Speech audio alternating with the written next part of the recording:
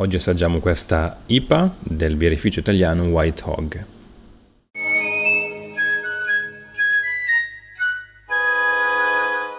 Vediamo subito la scheda tecnica di questa, di questa, birra. Allora, il birrificio in questione è appunto White Hog, un birrificio italiano, si trova a Lecco.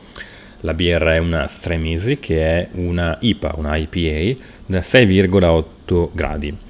Eh, la, il prezzo di questa birra non ve lo eh, so dire perché l'avevo eh, acquistata su un, un, cartone promozionale con eh, altre birre da parte di un, di un, rivenditore, quindi al momento non so esattamente il costo, non l'ho trovata eh, sui principali beer shop online che, che consulto a volte.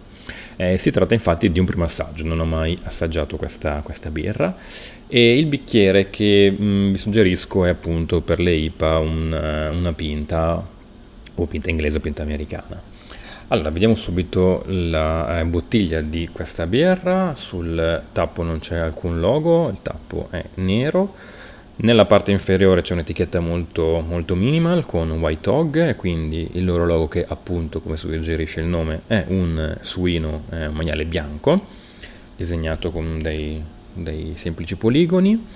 Eh, il nome della birra, Stremizzi, che penso si tratti di dialetto laghe, essendo eh, lecchesi i, i produttori.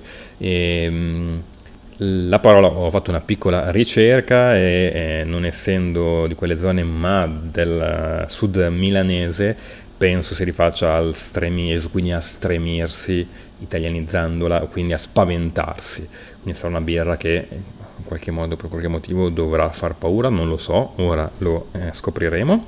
India Pale 6 gradi, consiglia come temperatura di servizio tra i 7 e i 10 gradi, riporta anche gli IBU, quindi il livello appunto di eh, amarezza di questa birra.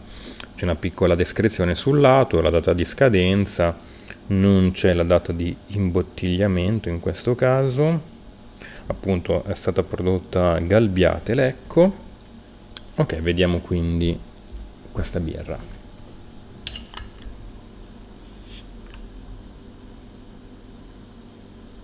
Oh, attenzione, c'è un pochino di piccolo piccolo gushing probabilmente perché l'ho appena appoggiata qui e l'ho portata a mano e ho fatto un pochino di, di strada.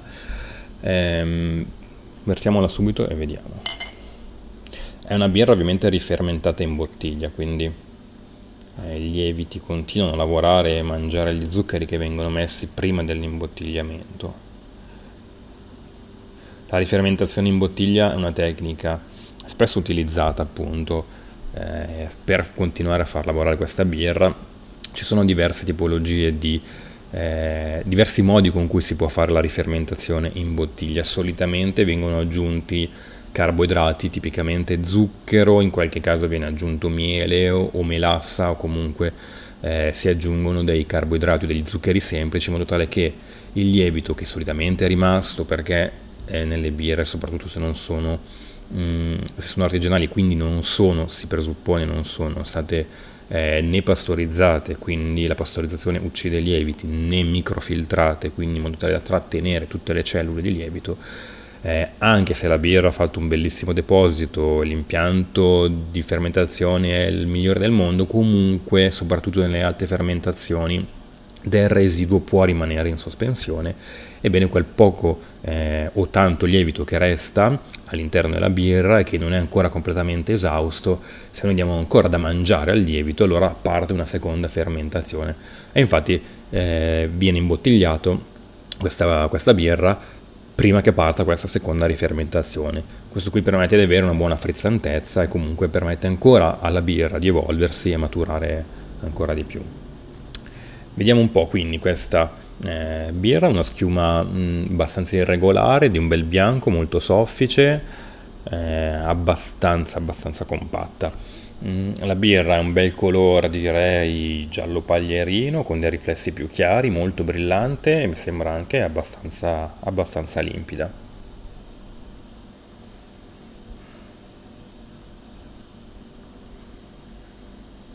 Allora, l'intensità olfattiva al naso non è elevatissima, ci sono comunque però tutte le caratteristiche appunto tipiche di questo stile delle IPA.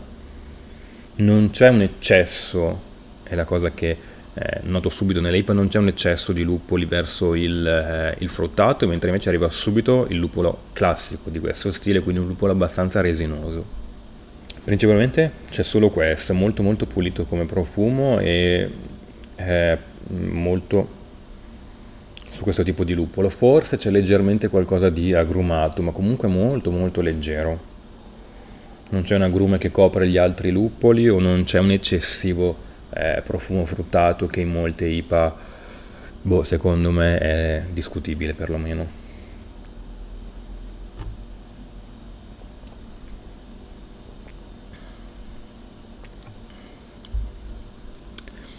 Allora, anche in bocca appunto, un'IPA abbastanza classica, molto buona devo dire, si sente un'apertura maltata, non eccessivamente maltata, quindi molto molto leggero, il malto iniziale subito seguito da un buon luppolo eh, e quindi un buon, un buon sapore, sapore, amaro. Devo dire che anche cor- come corpo è abbastanza leggera, eh, l'equilibrio è buono ma più spostato verso l'amaro sicuramente in questo caso.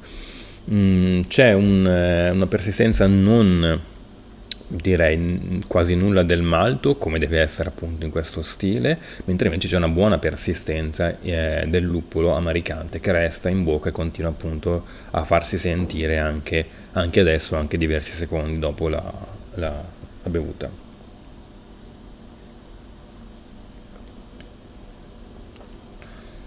Anche il corpo appunto è abbastanza leggero e una buona frizzantezza quindi vuol dire che tutto sommato è è una buona scoperta questa, questa IPA, rientra perfettamente nei canoni appunto della IPA con un alcol 6,8 quindi siamo mm, diciamo verso la fascia un po' più alta ma al di là del valore numerico quello che poi eh, interessa sempre vedere è quanto sentiamo questo alcol in bocca. Si sente poco quindi vuol dire un alcol ben nascosto è quasi sempre sinonimo di una, una birra di, di, una buona, di, una buona, qualità.